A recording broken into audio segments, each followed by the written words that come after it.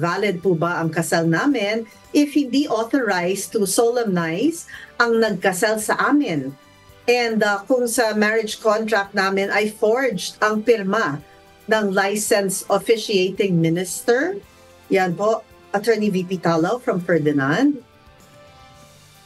Ah, Miss Jackie, ano, yan pong ah, authority ng solemnizing officer sa isang kasal. Napakahalaga po niyan, ano, kasi ah, kung kung yan po eh hindi present ano sa isang kasalan, ibig sabihin ah, meron pong defect ano yung ah, yung marriage at ah, pwedeng gamitin na ground yan para ipawalang bisa po yung naganap na kasalan.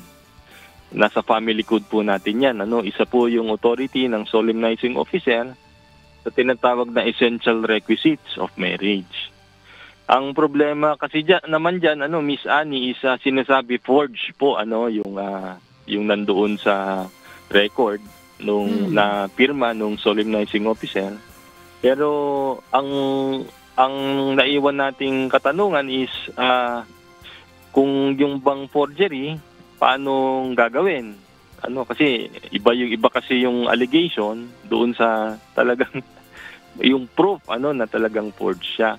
Kasi Hmm. sang-ayon po sa ating batas, yung forgery cannot be presumed. Ibig sabihin, hin- wala pong presumption ano na yung isang dokumento ay pinorge o pineke.